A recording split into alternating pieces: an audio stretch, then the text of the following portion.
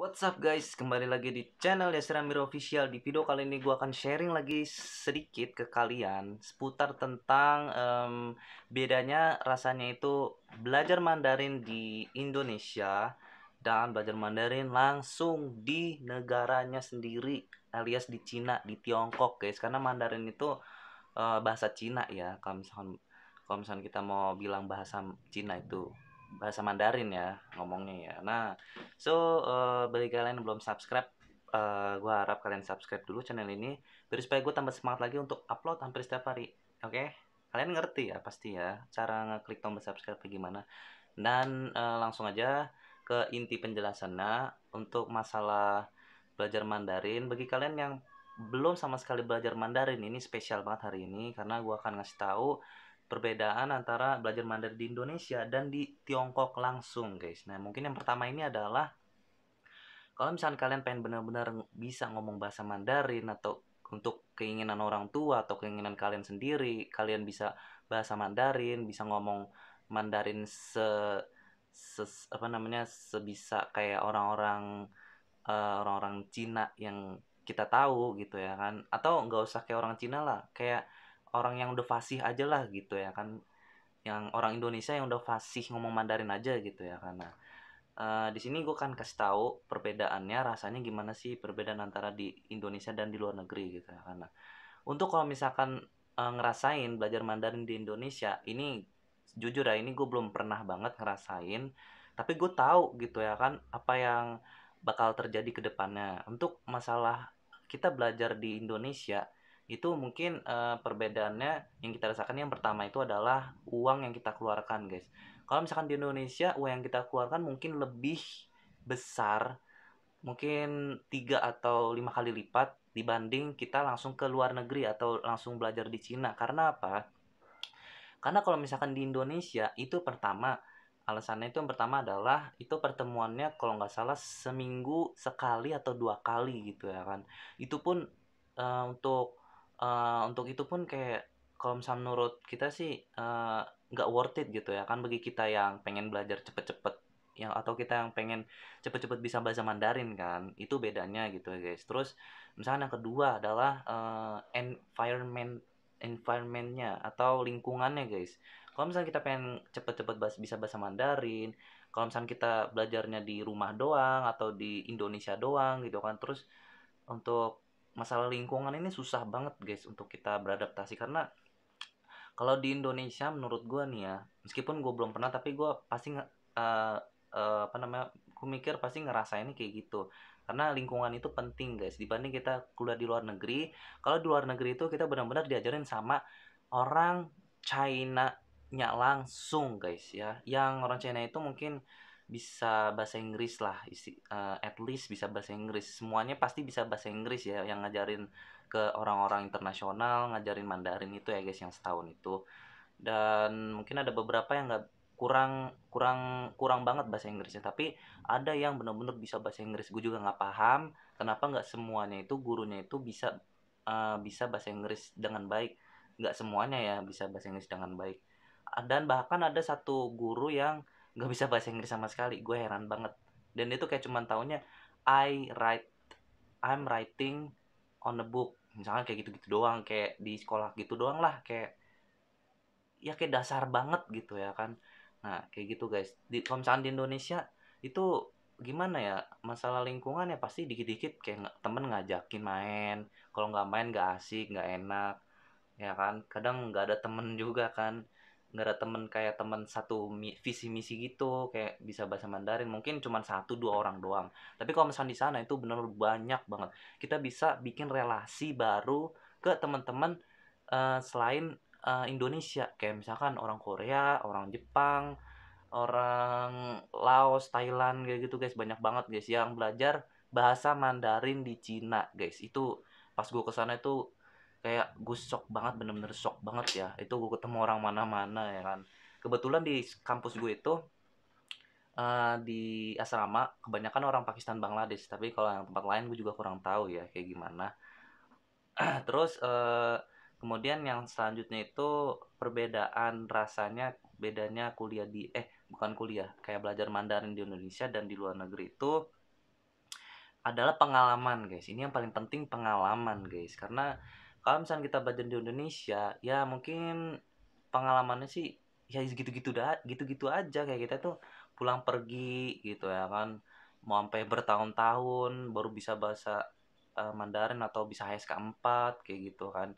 Dan ya nggak ada pengalaman baru gitu dari luar negeri atau da di dalam negerinya itu. Kayak kita tuh kayak kurang pengalaman lah gitu istilahnya gitu. Kita kayak ketemu orang-orang itu doang. Kalau misal bahkan kalau misalkan temennya itu yang ada di kelasnya itu mungkin orang pribumi orang biasa gitu ya kan bukan orang uh, sesama Chinese gitu juga gitu yang kayak visi misinya pengen Mandarin benar-benar fasih Mandarin atau bis, bisa kuliah di uh, luar negeri atau di Cina gitu ya kan.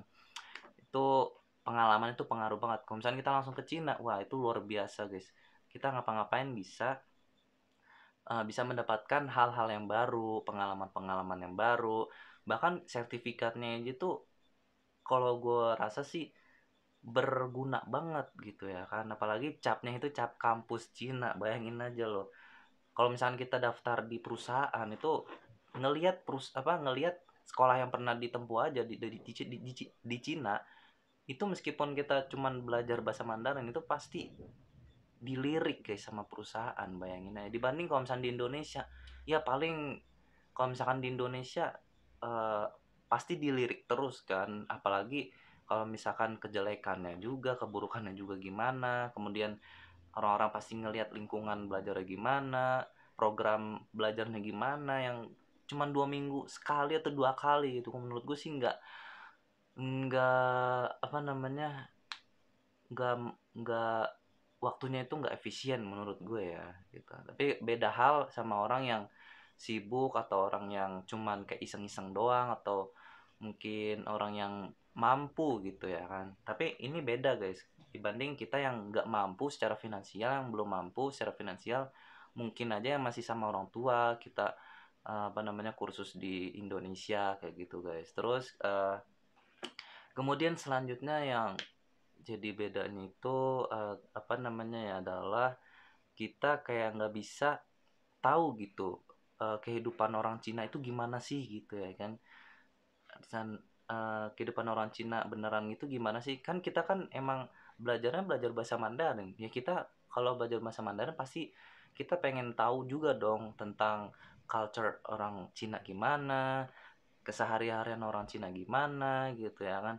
Dan dan uh, di saat gue udah di sana belajar Mandarin awal-awal itu gue bener-bener shocknya itu sampai ke tulang-tulang rusuk gue guys. Sampai kayak ke inti tulangnya banget guys. Kayak anjir. Oke gitu orang Cina gitu kan. Terutama yang maaf maaf nih ya yang kayak mandi bareng gitu. Orang Cina nih bukan orang luar negeri. Itu wah gila. Itu teman-teman gue aja yang yang apa namanya teman-teman gue aja yang dari Indonesia yang keturunan Cina juga tuh kayak shock juga gitu. Gua anjir gila gini, gini gitu ya kan. Jadi dia tuh belum pernah ngelihat sama, sama sekali gitu ya kan. Orang Cina itu mandi bareng terus ini, ini bareng kayak telanjang juga nggak peduli boker juga terbuka banget nggak tertutup gitu ya kan. Wah ini kayak mereka itu uh, kalau menurut gue sih emang ya nggak tahu ini ya apa namanya uh, apa sih namanya aurat ya untuk untuk laki-laki khususnya. Kayak mereka tuh mikirnya laki-laki tuh nggak punya aurat punyanya cuman kayak di depan umum udah gitu doang. Tapi kalau misalnya di WC atau di mana itu terbuka juga gitu. Mungkin mereka mikir ah ini di WC ini gitu kan.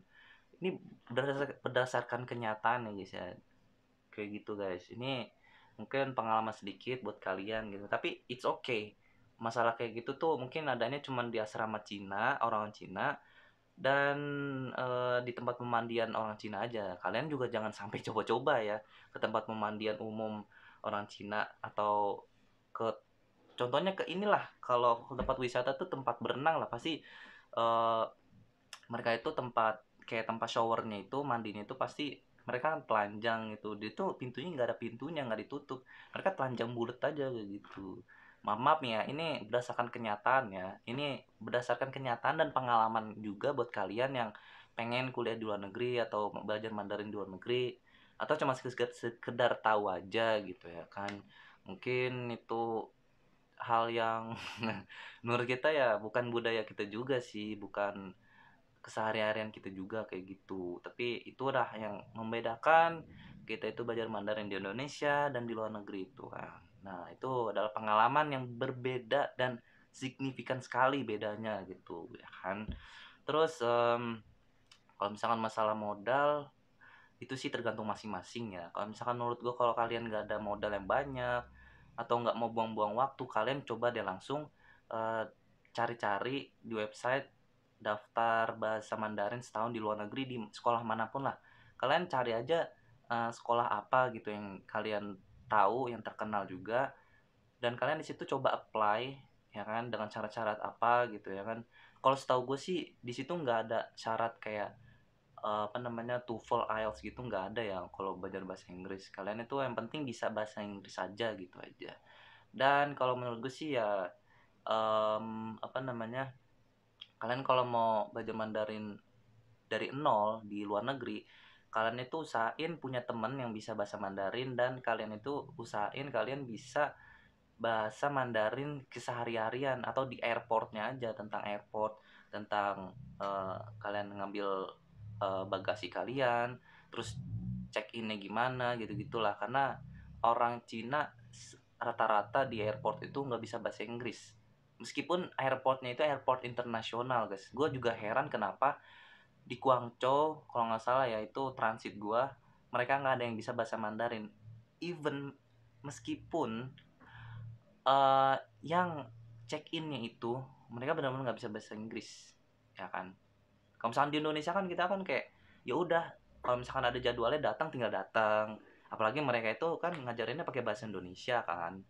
Kalau misalkan kita udah lama belajar udah setahun dua tahun tiga tahun mungkin mereka bakal apa namanya mungkin ganti pakai bahasa Mandarin ya. Tapi kalau misalnya menurut gua menurut gua nih ya di Indonesia itu pertama mereka itu kalau misalkan mau buka kelas mereka tuh harus cari orang minimal 7 atau 10 orang gitu kalau salah. Dan waktu itu gue juga sempet pengen daftar cuman kata orangnya iya kita tunggu orang orang-orang dulu. Ini kalau misalkan udah ada 5 atau 10 orang baru kita buka kelas kita kasih jadwalnya. Kayak gitu guys kalau menurut gua. Jadi ini menurut gue sih buang-buang waktu buang-buang uang juga kan gitu. Apalagi mahal banget ya subhanallah mahal banget kayak gitu guys. Jadi uh, kalau misalkan langsung ke Cinanya itu lebih efisien lah waktunya jadwalnya. Itu setiap hari Senin sampai Jumat itu pasti ada pelajarannya. Pelajarannya itu uh, listening, reading, and grammar komprehensif lah itu uh, sama uh, apa namanya koyu itu uh, speaking ya masih speaking. Jadi empat pelajaran itu guys. Jadi senin sampai jumat itu pasti ada jadwalnya. Pasti ya oke? Okay?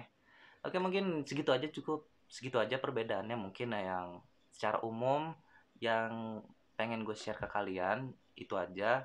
Mungkin semoga bermanfaat buat kalian yang pengen sukses belajar bahasa Mandarin dan sukses untuk kuliah.